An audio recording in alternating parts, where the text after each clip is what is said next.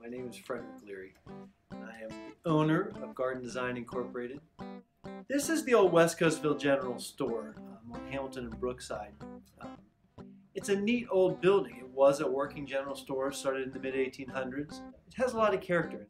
I'm hoping that people will bring some examples of their own, some gardens they're working with or struggling with, some plants that they've had some struggles with, and we can we can give some information and have a conversation that can help them really take the information back and have fun engaging in their garden. And that's the point. We create spaces for people to engage in. That's that's the basics of it. You know, the fundamentals, the principles, um, sort of the case studies, and then a hands-on. Let's let's do some design together.